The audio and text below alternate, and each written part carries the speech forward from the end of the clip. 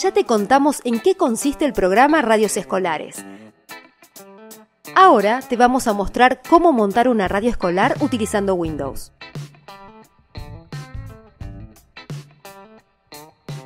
¿Qué elementos necesitamos? Dos netbooks o PC con entrada de micrófono y salida para auricular y un cable de audio doble macho. El micrófono y el auricular son opcionales. La NET 1 cumplirá la función de operadora de radio. Se le conectará el micrófono y se ejecutará el programa Radit, que es nuestra consola de operación técnica. La NET 2 cumplirá la función de transmisora de la señal y servirá para monitorear lo que está saliendo al aire en tiempo real con el uso de los auriculares. Ejecutará los programas Icecast y RaditCast que sirven para configurar y subir la señal sonora por streaming. Con estos elementos ya podemos montar e instalar nuestra radio escolar.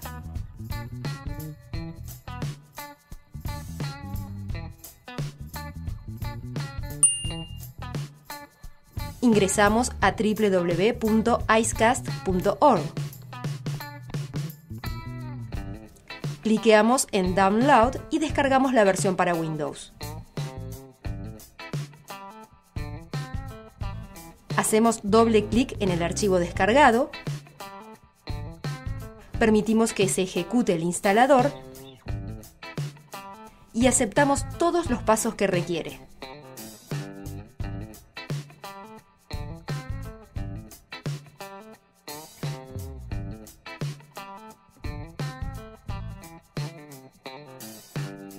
Ahora cerramos. Una vez concluida la descarga, ingresamos al disco C, archivos de programas y abrimos la carpeta Icecast.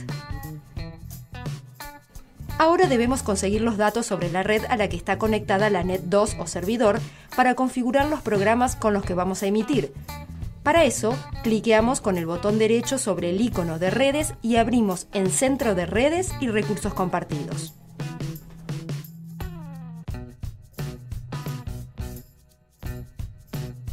Cliqueamos en el nombre de la red. Luego en Detalle y tomamos nota de la dirección IP que se muestra en Dirección IPv4. En este caso es 192.168.10.25. Con ese número volvemos a la carpeta Icecast y hacemos clic con el botón derecho sobre el archivo Icecast con la extensión XML, que pesa 9 KB. Abrimos el archivo con bloc de notas. La configuración de Icecast es simplemente un archivo de texto que tiene toda la información que utiliza el programa. En la etiqueta hostname reemplazamos por la dirección de IP buscada en el paso anterior. En este caso será 192.168.10.25.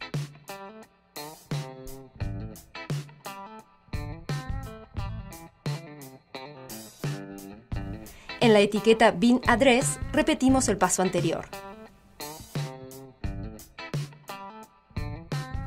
En la etiqueta Source Password escribimos la palabra alumno.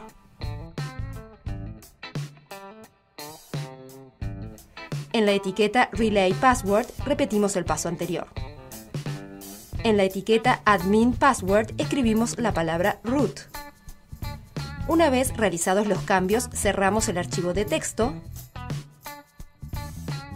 guardamos y reemplazamos el existente.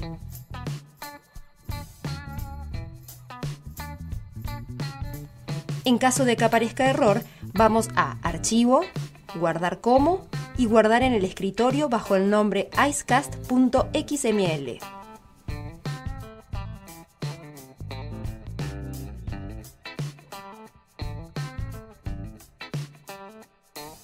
Por último, arrastramos el archivo del escritorio a la carpeta Icecast en Archivos de programa y reemplazamos el archivo existente.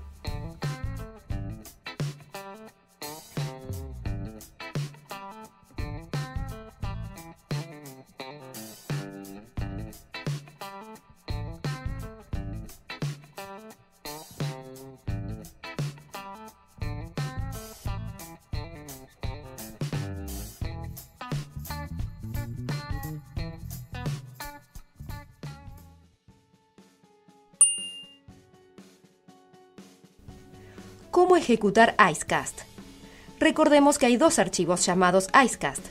En este caso hacemos doble clic en el archivo ejecutable, que es el que pesa un kbyte. La ventana siempre deberá estar abierta para que el Icecast quede funcionando. Prueba de Icecast. Para asegurarse que el servidor de streaming esté funcionando correctamente, debemos abrir un navegador. En la barra de direcciones escribimos la dirección IP seguida de dos puntos y el número 8000.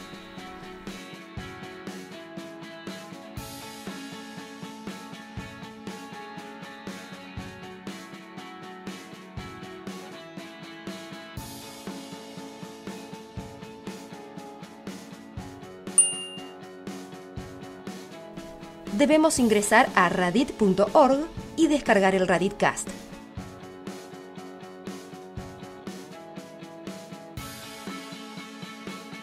Este programa no necesita instalación, con lo cual, haciendo doble clic, ya podemos configurarlo. En el campo Dispositivo seleccionamos Micrófono. En el campo Server copiamos la dirección del servidor de streaming que ya se encuentra configurado con Icecast y agregamos el nombre que queremos ponerle a la radio, siempre en minúscula y con la extensión MP3.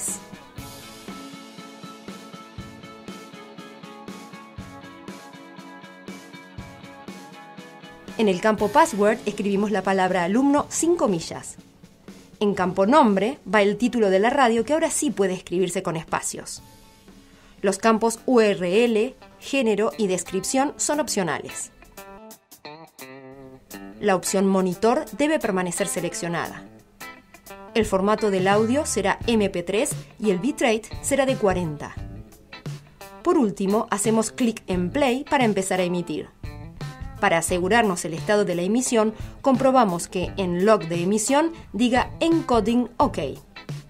Es importante nunca apagar la Net 2 porque si se la conecta a una red distinta cambia la dirección IP y hay que volver a editar el archivo de texto.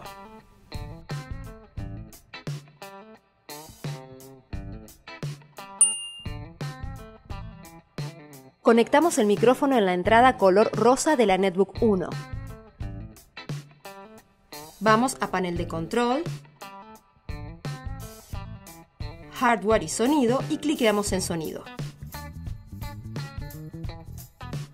Luego cliqueamos en la pestaña Grabar, Micrófono y Propiedades. En la pestaña Escuchar tildamos la opción Escuchar este dispositivo. Desde ahí controlaremos el nivel del volumen del micrófono. Damos a aceptar a las dos ventanas abiertas. 1, 2, 3, probando. Ya tenemos señal desde nuestro micrófono.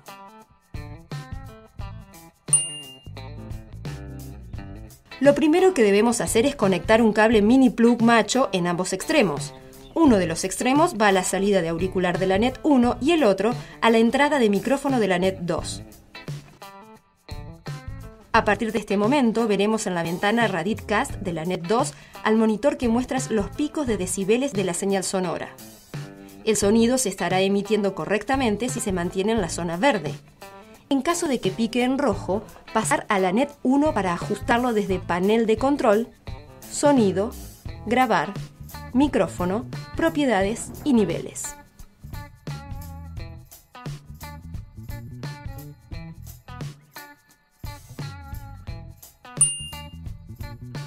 Al abrir el programa tendremos a la derecha una ventana de eventos y HTH, esto es hora, temperatura y humedad y a la izquierda el reproductor principal.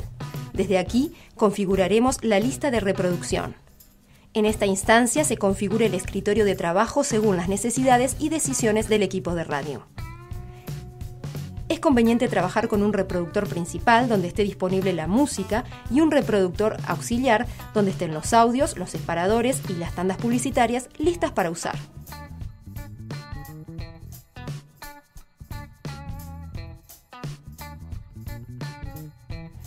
cómo configurar la lista de reproducción. Simplemente arrastrando uno a uno los audios que deseamos escuchar en cada lista de reproducción.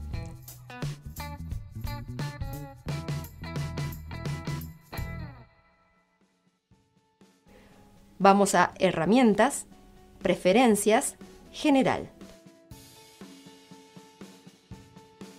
En fundidos, seleccionar fundidos al solapar y fundidos al parar. Esto permitirá funcionar de manera más armónicas las pistas. En detector de finales, tildar la opción Activar detector. Debe quedar siempre en 10 decibeles. En preferencias, pisador, la variación de transición debe quedar configurada en 500 milisegundos para que la transición sea gradual. En locución debe quedar configurado en 0,20. Ahora sí estamos en condiciones de salir al aire en nuestra radio.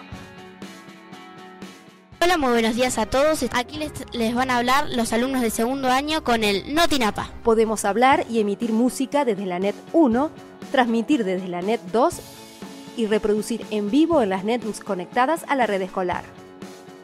En un navegador escribimos la dirección de la radio. Ya estamos listos para salir al aire. Hola, muy buenos días a todos. Aquí les, les van a hablar los alumnos de segundo año con el Notinapa.